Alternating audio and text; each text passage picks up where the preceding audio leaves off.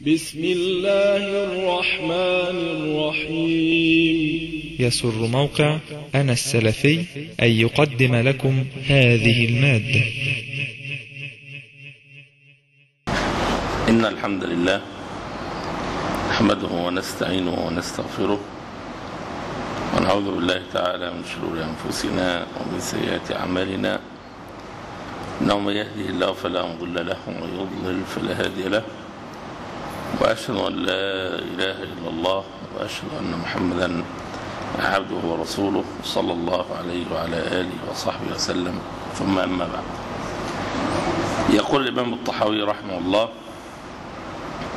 ونثبت الخلافة بعد رسول الله صلى الله عليه وسلم أولا لأبي بكر الصديق رضي الله عنه تفضيلا له وتقديما على جميع الأمة.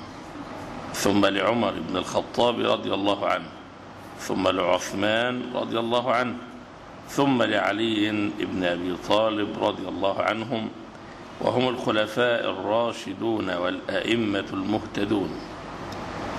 يقول الشيخ البراك حفظه من فروع ما يجب اعتقاده في أصحاب الرسول صلى الله عليه وسلم هذه المسائل التي أردفها المؤلف لما قبلها. فذكر أولا ما يجب لعموم الصحابة رضي الله عنهم من المحبة والاحترام وذكر المحاسن والكف عن المساوئ إلى آخره. ثم قال ونثبت الخلافة بعد رسول الله صلى الله عليه وسلم إلى آخر كلام هذا أيضا مما يقرره ويدين لله به أهل السنة مما يقرره ويدين لله به أهل السنة أن الأحق بالخلافة بعد رسول الله صلى الله عليه وسلم أبو بكر. هنا عندنا قضيتين قضية من الأحق وقضية من ثبتت له الخلافة. وإجماع أهل السنة على أن الخلافة انعقدت لأبي بكر ثم عمر ثم عثمان ثم علي رضي الله عنهم أجمعين وأن هذا هو ترتيبهم في الفضل والاستحقاق. هذا لأن الشيعة يعني يقولون أن الأحق علي ولكن تركها يعني إثارا للسلامة. الشيعة الزيدية يقولون الأحق علي. الشيعة الإمامية يقولون أن علي رضي الله عنه هو الأحق ويطعنون في خلافة أبي بكر وعمر ويرون أنهما وهما وعثمان غصبوا الخلافة من علي رضي الله عنه وغصبوا عليا حقه الشيعة الزيدية يقولون أن علي كان هو الأحق ولكن الأمة أخطأت. واختارت أبا بكر فانعقدت له الإمام. وأن أبا بكر لم يكن غاصبا للخلافة من علي. وإنما انعقدت له باختيار الأمة بيد أنهم يخطئون الأمة في هذا الاختيار أو على الأقل يقولون كان علي رضي الله عنه أحق بها. أهل السنة يقولون أن الإمامة انعقدت فعليا لأبي بكر ثم عمر ثم عثمان ثم علي رضي الله عنهم أجمعين وأن هذا هو ترتيبهم في الفضل بين أصحاب النبي صلى الله عليه وسلم فأفضل هذه الأمة بعد نبيها أبو بكر ثم عمر ثم عثمان ثم علي رضي الله عنهم أجمعين. ومن ثم فأيضا كان هذا ترتيبهم في استحقاق الخلافة فيقول أن أهل السنة هذا أيضا مما يقرره ويدين لله به أهل السنة. أن الأحق بالخلافة بعد رسول الله صلى الله عليه وسلم أبو بكر فيثبتونها له تفضيلا له وتقديما له على سائر الصحابة. فولايته للخلافة بعد رسول الله صلى الله عليه وسلم كانت عن أهلية واستحقاق. وليس إثباتها لها واقعا فقط كما تقول الرافضة. فالرافضة يقولون الخليفة بعد رسول الله صلى الله عليه وسلم أبو بكر واقعا لا يستطيعون أن يغيروا التاريخ ولكن عندهم أن خلافته بغير حق. خلافته بغير حق ليس فقط كما ذكرنا الشيعة الزيدية يقولون أن علي كان أولى ولكن خلافة أبي بكر واقعة وصحيحة يعني عقدت باختيار الأمة. بينما الإمامية يكون كانت خلافة غصب غصبوا الخلافة من علي. فقول الطحاوي رحمه الله تفضيلا له أي هو الأحق بتولي الخلافة بعد رسول الله صلى الله عليه وسلم. لأنه أفضل الأمة كما دلت على ذلك الأحاديث في فضل أبي بكر. ثم اختلف الناس يعني بالناس هنا أهل السنة. اختلفوا في خلافة أبي بكر رضي الله عنه بعد الرسول صلى الله عليه وسلم. هل ثبتت بالنص أم بالاختيار؟ يعني هل نص النبي صلى الله عليه وسلم على أن يتولى الخلافة بعد أبو بكر؟ أم أن الأمة اختارته؟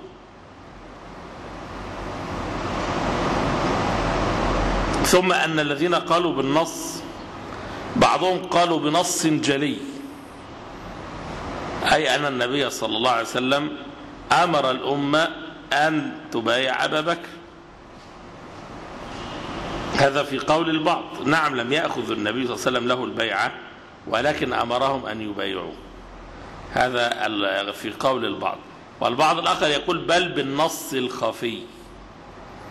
يعني يقول فمن أهل السنة من يقول أنها ثبتت بالنص الجلي ومنهم من يقول أنها ثبتت بالنص الخفي والإشارة ومنهم من قال أنها ثبتت بالاختيار أي باتفاق الصحابة. وقد جاءت أدلة تدل على أن أبا بكر هو الأحق بالأمر بعد رسول الله صلى الله عليه وسلم. هذه الأدلة متفق على صحتها. الأدلة التي دلت على أن أبا بكر هو الأولى بهذا الأمر. ولذلك اعتبرها بعض العلماء من باب النص الجلي واعتبرها البعض الآخر من باب النص الخفي واعتبرها البعض الثالث أنها لا ترقى إلى أن تكون نصا جليا ولا خفيا. وإنما كانت بيانا من النبي صلى الله عليه وسلم لفضل أبي بكر والصحابة رضي الله عنهم أسرع الناس إلى الخير. فلما علموا فضل أبي بكر اختاروه فكأن هذه النصوص في النهاية هي المستند الذي بناء عليه تم اختيار أبا بكر رضي الله عنه بعد رسول الله صلى الله عليه وسلم كخليفة للأمة آه كخليفة لرسول الله صلى الله عليه وسلم في حكم الأمة. وهذه النصوص هي المستند. ولكن ماذا أفادت هذه النصوص؟ ماذا أفادت الصحابة؟ ماذا فهم منها الصحابة؟ العلماء بعض العلماء يقول فهم منها الصحابة أن أبا بكر أفضلهم ومن ثم اختاروا. والبعض الآخر قال إن الصحابة فهموا منها أنه أفضلهم وأنه أولى الناس بحكمهم. فاعتبروا هذا من باب النص الخفي. والبعض فهم من بعضها من بعض هذه النصوص أنها ترقى إلى أن تكون نصا جليا. ولكن في النهاية هذه النصوص الثابتة في فضل أبي بكر رضي الله عنها عنه هو المستند الذي دفع الصحابة رضي الله عنهم إلى مبايعته خليفة. يقول وقد جاءت أدلة تدل على أن أبا بكر هو الأحق بالأمر بعد رسول الله صلى الله عليه وسلم. من ذلك أنه صلى الله عليه وسلم قال وهو في مرض موته صلى الله عليه وسلم مروا أبا بكر فليصلي بالناس. وكرره وأكده وفعلا كان هو الإمام. ومات النبي صلى الله عليه وسلم وهو الذي يصلي بهم. فتقديمه في إمامة الصلاة فيه التنبيه على أحقيته بالأمر من بعده لأن هذا هو الأصل. فالرسول صلى الله عليه وسلم كان هو إمام المسلمين عموما وخصوصا فهو إمامهم في الصلاة وهو إمامهم في تدبير أمورهم وولاية شؤونهم. ومن ذلك أنه أراد في مرض كما ذكرنا نص كهذا أيضا سيختلف فيه نظر العلماء ما بين من يرى نصا صريحا لأن إمامة الصلاة هي أهم واجبات الإمام في في عاصمة الخلافة أتكلم الآن على المدينة التي هي مركز الدولة الإسلامية في حياة رسول الله صلى الله عليه وسلم والرسول صلى الله عليه وسلم كان بصفته الإمام العام للمسلمين لأن النبي صلى الله عليه وسلم كما ذكرنا من قبل كان هو الرسول المبلغ عن الله تبارك وتعالى. وكان هو الحاكم وكان هو القاضي. فبوفاته صلى الله عليه وسلم انقطعت النبوة والرسالة وبقي انه اختير خليفة وصار الخليفة يمكن أن يكون القاضي ويمكن أن يعين قاضي وقد كان بدأ مسألة تعيين القضاة ونحو هذا. فكان إمامة الصلاة في عاصمة الدولة الإسلامية آنذاك هي أهم واجبات أو من أهم واجبات الإمام العام للمسلمين. فكون أن النبي صلى الله عليه وسلم مرض فلم يستطع أن يؤدي هذا الجزء من مهماته فأوكلها إلى أبي بكر وهي أولى المهمات كما قال قائلهم رضيك رسول الله صلى الله عليه وسلم لديننا أفلا نرضاك لدنيانا؟ فأعتبروا هذا من باب النص الصريح. البعض الآخر يعتبره من باب النص الجلي والبعض الثالث يقول لا أن هذا النص أقصى ما أنه لا يستفاد منه إلا فضل أبي بكر واستحقاقه للتقديم. والأمر قريب يعني الأمر قريب بين هذه الأقوال الثلاث قل ومن ذلك أنه أراد في مرض موته أن يكتب لأبي بكر كتابا فقال لعائشة لقد هممت أو أردت أن أرسل إلى أبي بكر وابني فأعهد أن يقول القائلون أو يتمنى المتمنون. ثم قلت يأبى الله ويدفع المؤمنون أو يدفع الله ويأبى المؤمنون. وفي الحديث الصحيح أن امرأة أتت النبي صلى الله عليه وسلم فكلمته في شيء. فأمرها أن ترجع إليه. قالت يا رسول الله أرأيت إن جئت ولم أجدك؟ قال فإن لم تجديني فأتي أبا بكر. نفس الكلام. هل هذا نص صريح بأن حاكم المسلمين بعده يجب أن يكون أبا بكر؟ أم أنه إشارة؟ أم أنه غايته فضيلة أبي بكر رضي الله عنه في أن النبي صلى الله عليه وسلم أمر المرأة أن تأتيه لأن النبي صلى الله عليه وسلم يثق فيه وهو وزيره في حياته وبعد مماته سيكون إذا أتته المرأة في حاجتها إن كان هو الأمير قضاها وإلا سعى لها عند الأمير يعني. يقول يعني فهذه النصوص في الواقع فيها إشارات قوية جدا وال يعني قول من قال إنها تقترب من النص الخفي وربما فاقته قول قوي. قال وما ثبت في الصحيح أنه صلى الله عليه وسلم قال بين أنا نائم رأيتني على قليب عليها دل فنزعت منها ما شاء الله ثم أخذها ابن أبي قحافة فنزع بها ذنوبا أو ذنوبين وفي نزعه ضعف والله يغفر له ضعف ثم استحالت غربا. فأخذها ابن الخطاب فلم أرى عبقريا من الناس ينزع نزع عمر حتى ضرب الناس بعظم أي سقى للناس. وهذا ما وقع في خلافته من استقرار الأمر وانتشار الإسلام وكثرة الفتوح. فتأولها أهل العلم على أمر الولاية والخلافة من بعده. فأبو بكر رضي الله عنه ولي الأمر بعد الرسول صلى الله عليه وسلم مدة قصيرة سنتين وأشهر. وحصل في ولايته خير كثير. ومن أعظم ذلك تثبيت أمر الإسلام ودولته وقتال المرتدين. ورد كثير منهم إلى الإسلام. وأظهر الأقوال عندي. يقول الشيخ البراك وأظهر الأقوال عندي فيما ثبت به أمر الخلافة أنها ثبتت بالنص الخفي والإشارة.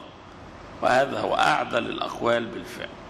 يعني إغفال الإشارات القوية الواردة في أن يقول للمرأة تجدين أبا بكر وأنه يأمر أن يصلي بالناس وإلى غير ذلك وأن يكون أبو بكر وعمر هم هما وزيرا في الدنيا ثم يرى في المنام أنه هو نزع من بئر ما نزع ثم خلفه في النزع منها.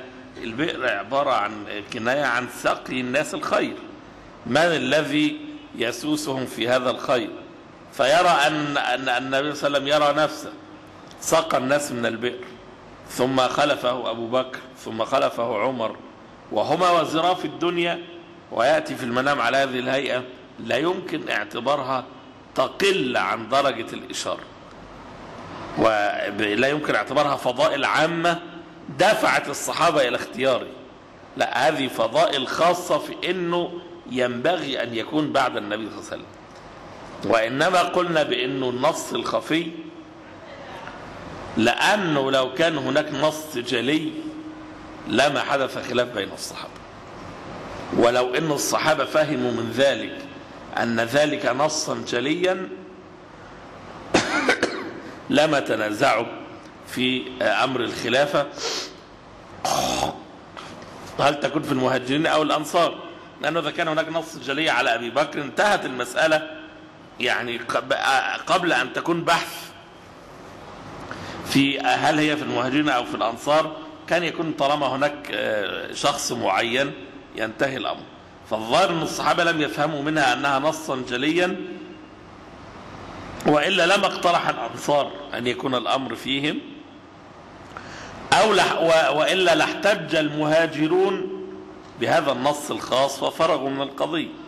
فوجود مثل هذا الحوار بين الصحابة رضي الله عنهم في من في الجملة يكون له الأمر المهاجرون أم الأنصار دليل على أنه لم يكن عندهم نص جلي. يقول وأظهر الأقوال عندي فيما ثبت به أمر الخلافة هو أنها ثبتت بالنص الخفي والإشارة. إذ ليس هناك نص جلي يقول الخليفة من بعده هو أبو بكر. ولكن هذه النصوص بمجموعها تدل دلالة بينة على أن أبا بكر هو الأحق بالأمر وأنه الخليفة من بعده صلى الله عليه وسلم. ثم وفق الله أصحاب رسول الله صلى الله عليه وسلم لاختياره عندما اجتمع الأنصار في سقيفة بني ساعدة. وقد قال قائل منهم للمهاجرين منا أمير ومنكم أمير. فقال أبو بكر رضي الله عنه نحن الأمراء وأنتم الوزراء. فبايعوا عمر أو, أو أبا عبيدة بن الجراح.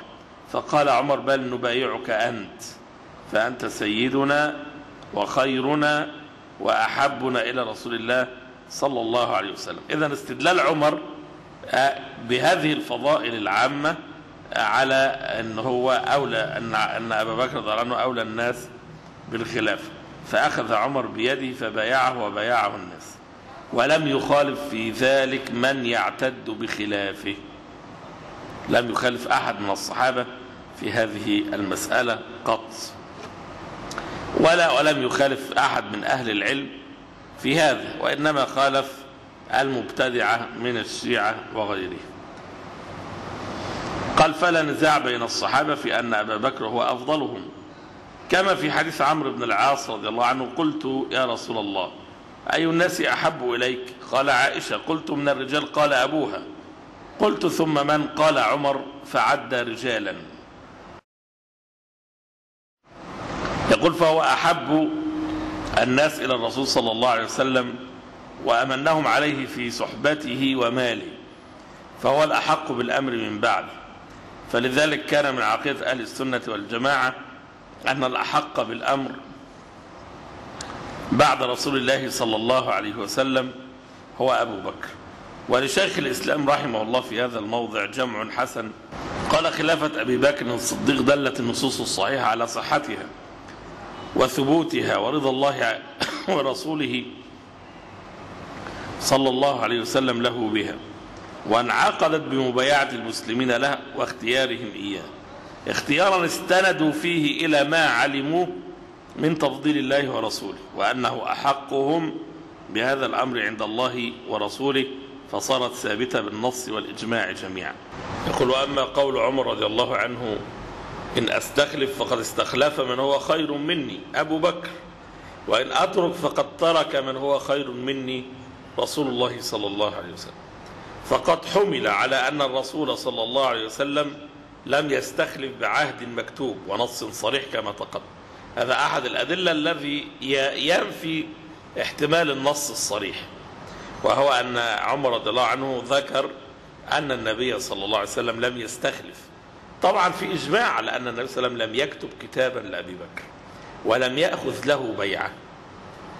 وهذا قد يحمل عليه قول عمر ولكن آه، بين للمسلمين أن الذي يرضاه الله لهم أن يختاروا أبا بكر بعد.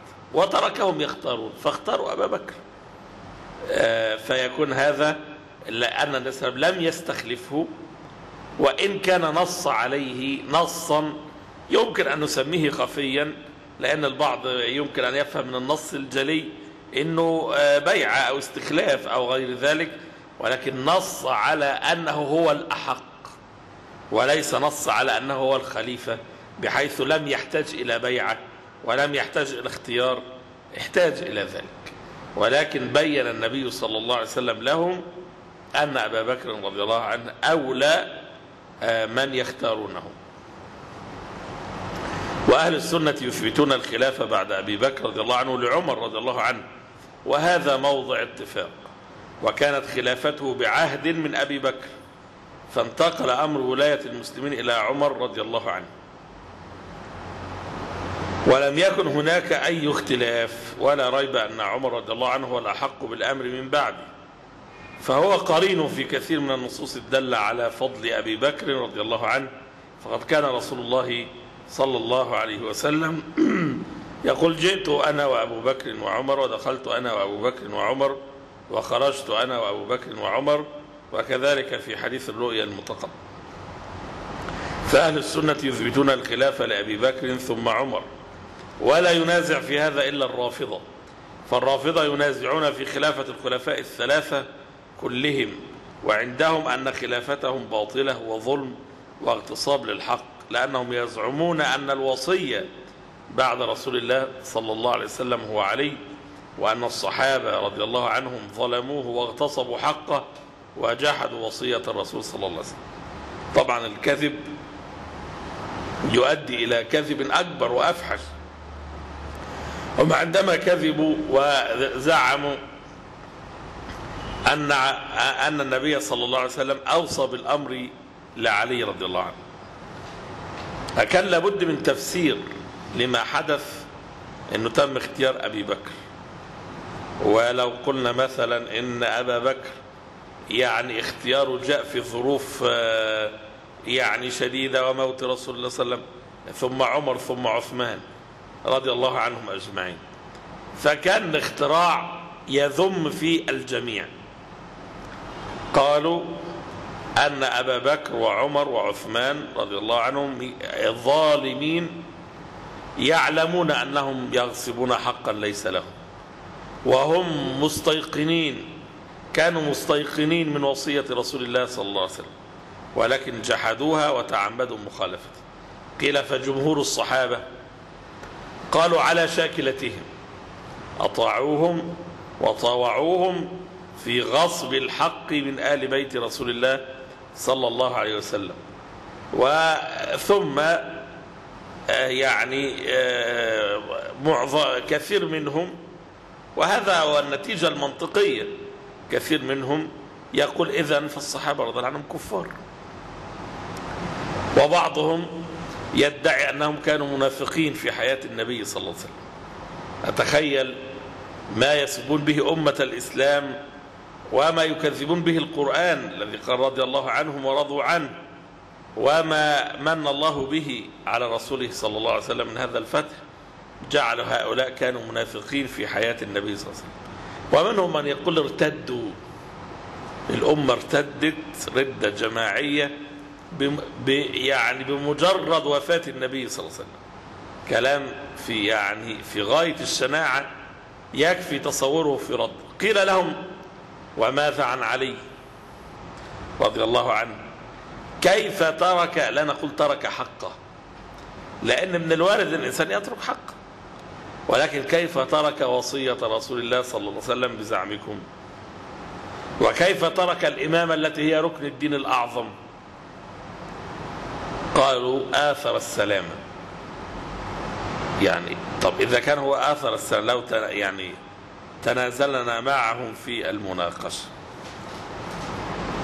هل إذا كان علي رضي الله عنه آثر السلامة هل يؤثر السلام مع منافقين مرتدين؟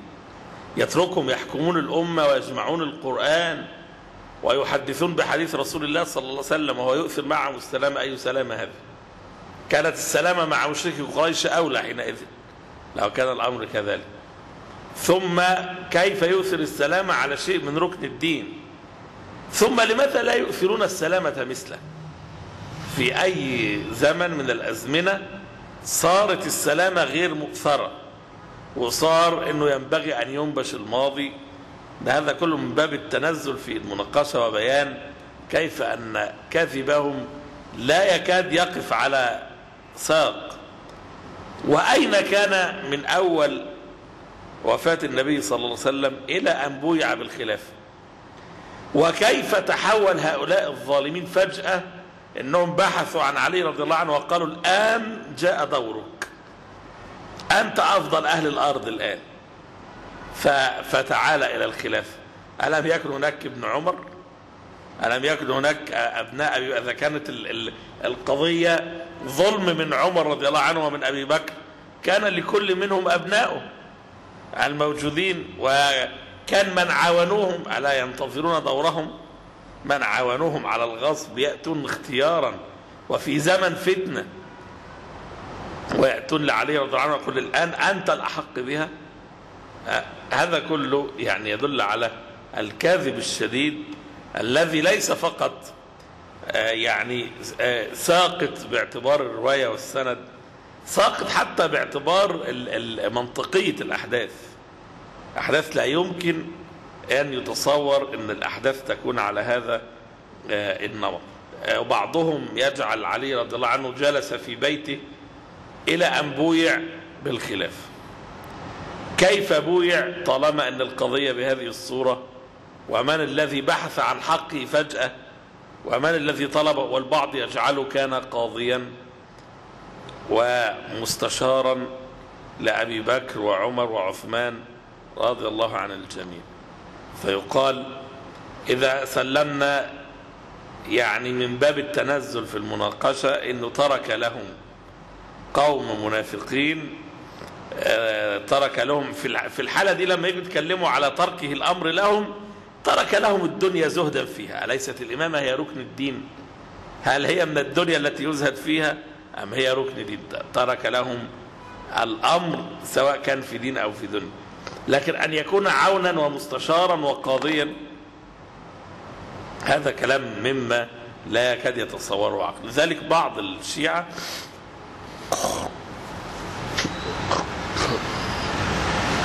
بالذات ذوي الأصول العربية لأن الشيعة الفرس يهمهم في المقام الأول الطعن في عمر.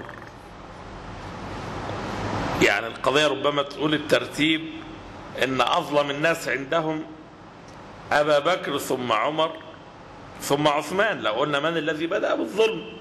أو عثمان ثم عمر ثم أبي بكر على اعتبار إن عثمان رضي الله عنه هو الذي كان اختياره كاد أن يتم اختيار علي رضي الله عن الجميع. ولكن لا يمكن بأي ترتيب أن يختار عمر ليكون هو الإيه؟ العدو الأول إلا لأنهم فرس يعرفون أن إمبراطوريتهم زالت على يد عمر رضي الله عنه. فيجعلون أعدى أعدائهم عمر رضي الله عنه. هذا الشيعة الفرس يعني كأن دينهم هو سب عمر خاصة يعني لعمر عندهم وضعية خاصة من الكره والبغض والسب إلى غير هذا أما يعني يوجد طوائف من الشيعة بالذات ذوي الأصول العربية لأنهم القضية عندهم ليست الانتصار للفرس بدرجة كبيرة وغالبا ما يكونوا مخدوعين بقضية الانتصار لآل البيت والانخداع بالقصص الكاذبة من عدوان الصحابة على آل البيت ونحو ذلك. تجد أن بعضهم يقر بخلافة أبي بكر وعمر. وهذا منهج سياسي بدأ ينشأ داخل الشيعة العرب. لا هو يتفق على أصول الشيعة الإمامية ولا يتفق مع أصول الشيعة الزيدية شيء وسط هكذا من أن هم يقولوا أن بداية الظلم من عهد عثمان رضي الله عنه. وده كلام بيقولوا بعض الساسة أو الأدباء اللي هم بيحاولوا يزرعوا البذرة الشيعية في نفوس المسلمين السنة. فيجد أنه صعب جدا أن هو يطعن في أبي بكر وعمر عند السنة. آه، صعب أن هو يلغي تاريخ علي رضي الله عنه من المسألة وبالتالي تجد بعض الأدباء المتأثرين بالشيعة يبدأون المشكلة من أول أن اختيار عثمان رضي الله عنه كان خطأ وإن علي كان أفضل وكان أشجع وكان أعلم وهذا خطأ. وما يضر الرجل أن يكون رابع أربعة في تاريخ المسلمين ككل. يعني القضية عندما نقول إن أهل السنة يرون إن الأفضل أبو بكر ثم عمر ثم عثمان ثم علي. فعلي رضي الله عنه هنا في منزلة عظيمة جدا رابع أربعة في صحابة رسول الله صلى الله عليه وسلم مع أنه أسن هؤلاء يعني أحدث هؤلاء الأربعة سنا. فكونه أنه هو مع حداثة سني زاحم كثير من الصحابة حتى صار رابع أربعة في الفضل. هذا أمر يعني ال- أمر عظيم وشرف كبير. ولكن يأتي هؤلاء يحاولون الطعن في عثمان رضي الله عنه الطعن في اختياره ابتداء إنه كان ضعيف لا يستطيع أن يحكم دولة كدولة الإسلام. ويحتجون على ذلك بأنه آه، لم يستطيع أن يقاوم دعاة الفتنة. وهذا من سوء آه، فهم المواقف وسوء تفسيرها. وإلا فعثمان رضي الله عنه كان قد وعده رسول الله صلى الله عليه وسلم وبشره بالجنة على بلوى تصيبه فصبر. وكان مبرراته رضي الله عنه أنه لا يعني كان جيوشه تجوب الدنيا ولم يكن معه في المدينة إلا فقهاء الصحابة. هؤلاء الذين يسدون ثغرة العلم والتعلم والإفتاء وهؤلاء ثروة لا تقدر بثمن. فلم يشأ أن يكون هؤلاء هم المدافعون عنه. لا سيما وأن قوتهم مكافئة تقريبا لقوة الخارجين على عثمان رضي الله عنه. فلو حصل مواجهة كان ولا بد أو يغلب على الظن أن يراق دماء بعض هؤلاء من عبد الله بن عمر وعبد الله بن عباس وغيرهم من فقهاء الصحابة وعلي رضي الله عنه وابنيه.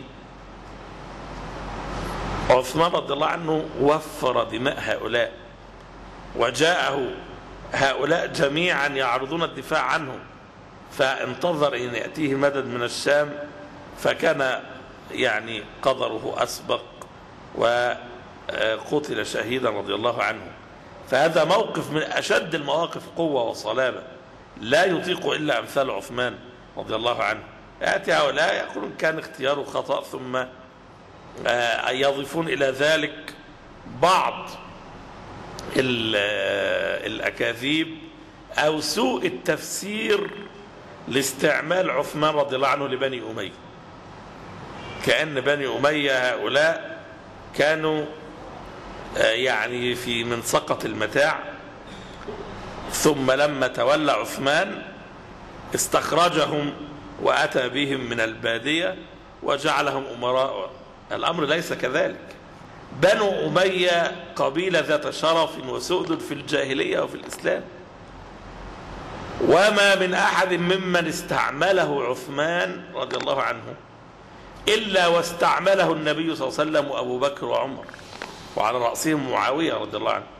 معاوية كان كاتب وحي رسول الله صلى الله عليه وسلم وكان قائدا و- واميرا في زمن أبي بكر وفي زمن عمر رضي الله عنه.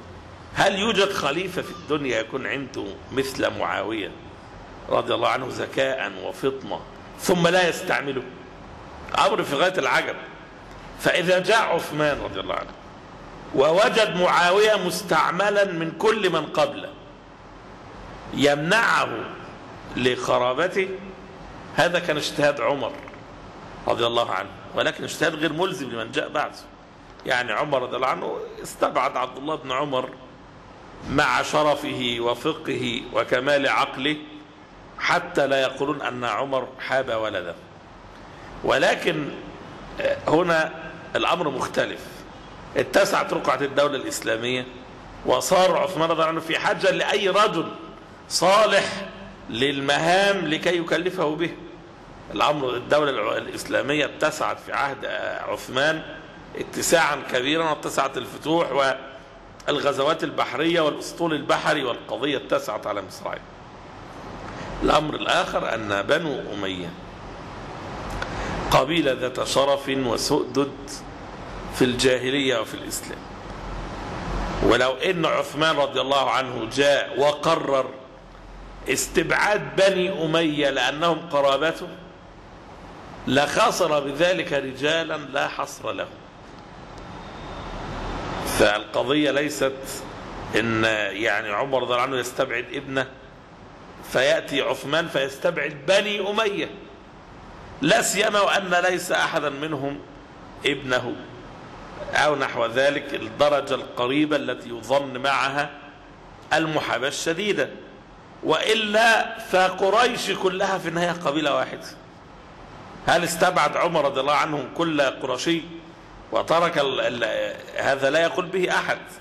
وه وهؤلاء قبيلته البطن الكبير الذي يتفرع منه وإنما استبعد من هم استبعد ابنه إلى الدرجة القريبة جدا من القرابة وليس نحو ذلك. يأتي البعض ينسبون خيال ويصورون الناس أن عثمان رضي الله عنه كان ضعيف الشخصية وأن بني أمية هؤلاء يعني هو الذي أتى بهم من هنا ومن هناك وأن أخلاقهم كذا وكذا وكذا مع أن هؤلاء استعملهم رسول الله صلى الله عليه وسلم ولم يستأثروا بالأمر دون عثمان رضي الله عنه وساروا في الرعية سيرة ما كانوا عليه في زمن النبي صلى الله عليه وسلم وزمن أبي بكر وزمن عمر. أبرز الذين استعملهم عثمان رضي الله عنه من بني أمية هو معاوية بن أبي سفيان رضي الله عنه. عندما تولى علي رضي الله عنه الخلافة هل عزله لم يعزله إذا كان القضية سيقولون أن بني أمية لا يستحقون. بل إن معاوية هو الذي طالب بدم عثمان. يعني الاجتهاد علي رضي الله عنه كان أن عثمان قتل وقد كان مكان يبقى أخذ القصاص من قتلته وهذا أمر يحتمل التأجيل للمصلحة.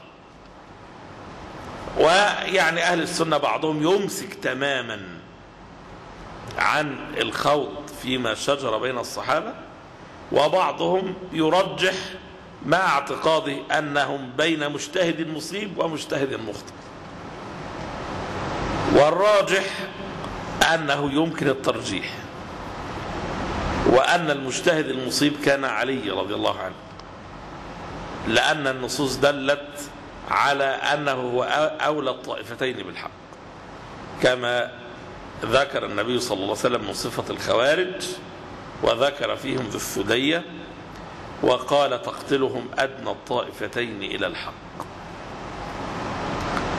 وكما ذكر في المقابل عمار رضي الله عنه أنه تقتله الفئة الباغية. فدل هذا على أن علي رضي الله عنه هو المصيب. على ماذا كان الخلاف؟ ليست القضية الآن من المصيب من من المخطئ. علي رضي الله عنه كان يرى أنه يمكن تأجيل الأخذ بالقصاص من قتلة عثمان رضي الله عنه إلى أن يستتب له الأمر. ومعاوية رضي الله عنه يتعجل في المطالبة بدم عثمان لأنه ولي الدم. فكان أن علي رضي الله عنه اشترط على معاوية أن يبايع وأن يدخل في طاعته أولا ثم يطالب بالثأر ثانيا. وبين علي رضي الله عنه لمعاوية يعني وجهة نظري واصطلح الفريقان كما تقدم ذكره إلا أن هؤلاء الخوارج والشيعة الذين أثاروا الفتنة وقتلوا عثمان كانوا في جيش علي فخرجوا وانقسموا إلى فريقين وأنشبوا القتال بينهم حتى يفسدوا الصلح. الشاهد أن علي رضي الله عنه لم يطالب معاوية رضي الله عنه بأن يترك إمارة الشام التي استعمله عليها عمر ثم عثمان رضي الله عنه بل طالبه أن يبايع. إذا معاوية أهل لما كان فيه من الإمارة وكان النزاع في قضية الدم قضية دم عثمان رضي الله عنه. فأنا أقول إن البعض يأتي فيعتبر أن بداية المشكلات كلها من تقديم عثمان على علي رضي الله عنهما في الخلافة. والصحيح أن المشكلات جاءت بقدر الله تبارك وتعالى من من وجود البذور التي نشأت منها الشيعة والخوارج وهم قوم من المنافقين أرادوا أن يكيدوا للإسلام وأهله وكادوا قبل بمقتل عمر رضي الله عنه. فإذا الكيد مستمر والحرب بين الإسلام والكفر لم تنتهي لا في حياة النبي صلى الله عليه وسلم ولا بعده. وهذه كانت إحدى صورها اللي نشأت عنها هذه الفتنة. يقول ولا نزاع بين أهل السنة في أن الأحق بالأمر بعد الرسول صلى الله عليه وسلم الثلاثة على مراتبهم. أبو بكر ثم عمر ثم عثمان رضي الله عنه. ثم علي رضي الله عنه هو الأحق بالأمر بعد عثمان. فإن عمر رضي الله عنه جعل الأمر شورى بين الستة الذين قال إن رسول الله صلى الله عليه وسلم مات وهو عنهم راض. فبعدما تشاوروا وشاور عبد الرحمن بن عوف الناس قال لم أرهم يعدلون بعثمان. فبايعه عبد الرحمن وبايعه الناس المهاجرون والأنصار وأمراء الأجناد والمسلم الكتب الشيعة كما أشرنا قبل ذلك تجد فيها كل كل ما تشتهيه من قول. يعني ما لا أي قول يخطر ببالك في القضية ستجده موجود في كتب الشيعة. إن الصحابة أن أفضل الصحابة هو أبو بكر ثم عثمان ثم علي. ستجد على قلة نصوص متناثرة في كتب الشيعة. إن أفضلهم أبو بكر ثم عمر ثم علي ثم عثمان. تجدها. إن أبو بكر وعمر منافقان زنديقان. تجدها دي بكثرة طبعا لأن هي دي عقيدتهم. ودائما المبرر الذي يقدمونه هم إن هناك تقية فإذا قيل لهم افصلوا لنا الحقيقة عن التقية وجدت أنه لا يتكلم إلا بتقية بمعنى إنه إذا كان بيتكلم معاك هيقول لك الحقيقة هو النص الوحيد أو العدد القليل من النصوص اللي بتقول أفضل الصحابة أبو بكر ثم عمر ثم عثمان ثم علي. لماذا تغفل هذا النص؟ تقول له طب كويس هو ده الحق والباقي تقية نشيل الباقي. يقول لك لا سيبه. بما في ذلك سب أبي بكر وعمر في موطن تاني هيقول لا الحق إن أفضل الصحابة أبو بكر ثم عمر ثم علي. وهنلاقي نص واثنين وثلاثة موجود في الكتاب الواحد. فنقول له إذا كان هو ده الحق نثبته وشيل الباقي مع إن إحنا لا نوافق على هذا ولكن على الأقل نكون عرفنا عرفنا لهم مذهبا. برضه يصر على إنه يسيب الجميع. آه كما ذكرنا. آه ولكن على أي من ضمن الأقوال الطريفة الموجودة في كتب الشيعة؟ أنهم ينسبون إلى عمر رضي الله عنه أنه قال آه لبعض الناس أو لبعض بني هاشم إن علي رضي الله عنه هو أولى الناس بهذا الأمر. إنه سألوه عن علي قال لقد كان أولى الناس بهذا الأمر بعد رسول الله صلى الله عليه وسلم غير أن خشي خشينا منه اثنتين. شدة حبه لبني هاشم وإقدام وفورة إقدام الشباب وتهوره أو نحو ذلك.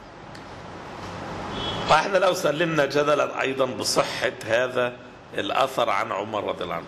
يبقى ليس هناك ظلم. ده كأن عمر رضي الله عنه يعني آه، يريد أن يقول أن علي رضي الله عنه لم يكن يستحق الخلافة في وجود من هم أعلم وأفضل وأسن ممن يستطيعون أن يسيسوا الأمة. وكأن الله تبارك وتعالى ادخر له الخلافة بعد أن يكتمل حلمه. لا أنه هو يكون الرابع في الفضل فيكون الرابع في الخلافة. فكأنه أراد أن يبين أنه له فضل عظيم لكن عنده مشكلتين. المشكلتين دول يمنعوا أنه يقدم. يبقى ليس هناك ذل مشكلات محددة معروفة. لو ثم إن منها حب لبني هاشم. شدة حبه لبني هاشم اللي يخشى منها إن هناك كفاءات أخرى كثيرة في قبائل العرب الأخرى لا تستعمل الاستعمال الجيد.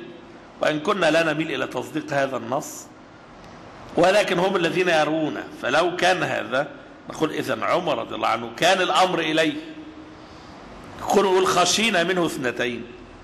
يبقى الناس كلها راحت لمين؟ راحت لعمر. تستني عمر هيقول إيه؟ وخشينا يعني هو وأبي بكر أو من كان لهم الكلمة. وكأنه بيقول للناس والله إحنا لو استطعنا تقديما لابن عم رسول الله صلى الله عليه وسلم أن نقدمه لقدمناه. ولكن خشينا منه إنه حديث السن.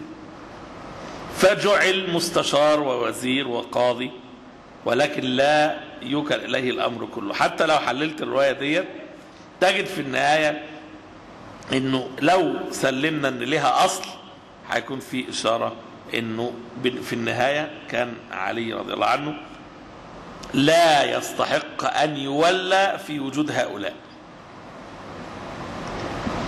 لا سيما مع حداثة سنه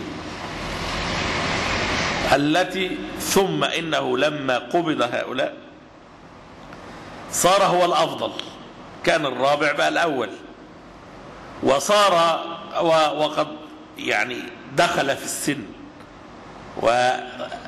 وزالت عنه فورة الشباب فكأن الله تبارك وتعالى اختار له ولصحابة رسول الله صلى الله عليه وسلم الأفضل. كمان لذلك عبد الرحمن بن عوف لما عزل نفسه من الست على أن يكون هو الإيه؟ اللي اللي في ايده الاختيار. وانحصر الخلاف يعني كل واحد جعل أمره الآخر فصف الستة على ثلاثة عبد الرحمن بن عوف وعثمان وعلي رضي الله عنهم أجمعين. ثم عبد الرحمن بن عوف عزل نفسه لكي يختار بين اثنين ثم يقول إنه سأل الناس كلها فيقول فلم أرهم يعدلون بعثمان. لأنه كما ذكرنا لعل علي رضي الله عنه حتى عندما تولى عثمان كان ما زال حديث السن نسبيا. ولأن الناس عارفة أن عثمان أفضل. وإذا كان علي رضي الله عنه ابن عم رسول الله صلى الله عليه وسلم وزوج ابنته فعثمان زوج ابنتيه. ثم أن النبي صلى الله عليه وسلم قال له لو كان عندنا ثالثة لزوجناك. فإذا كأن في هناك رؤية ما رؤية جماعية كانت موجودة. لا نقول في شأن أبي بكر وعمر بل في شأن عثمان أيضا أنهم كانوا أولى بالأمر من علي رضي الله عنه. ولذلك لما لما عمر استشار لما عبد الرحمن بن عوف رضي الله عنه استشار الناس سرا وجد إن الجميع يختارون عثمان.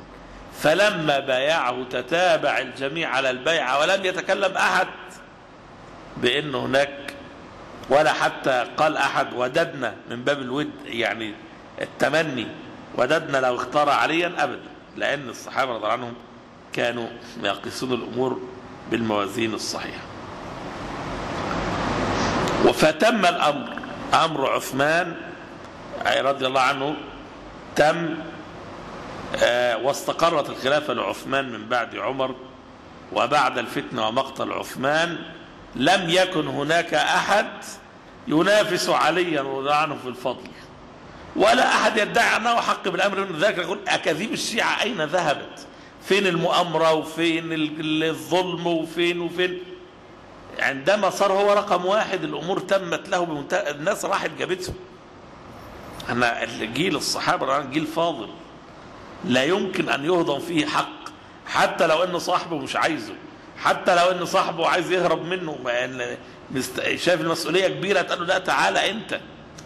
فلو في مؤامرة كان لازم المؤامرة تستمر. هو الصحابة كانوا يعدمون يجيبوا أي حد في الدنيا يمسكوه بدل علي رضي الله عنه. ما لا. لو إن المؤامرة كما يدعي الشيعة ناس منافقين زنادقة يكرهون النبي صلى الله عليه وسلم ويكرهون آل بيته. كانوا يجدوا ال- ال- الالاف يصلحون بدلا من علي رضي الله عنه. لكن كان الخيار بين الأول الستة صفى الامر ان هم يرون ان افضل الستة عثمان وعلي رضي الله عن الجميع. ثم رأوا ان عثمان رضي الله عنه افضل. ولكن بعد مقتل عثمان رأى الجميع